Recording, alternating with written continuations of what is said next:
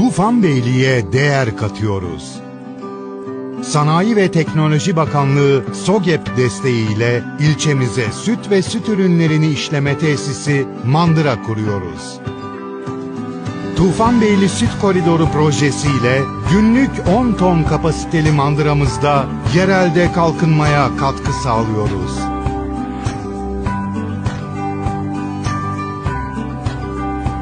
Tufanbeyli için üretiyoruz.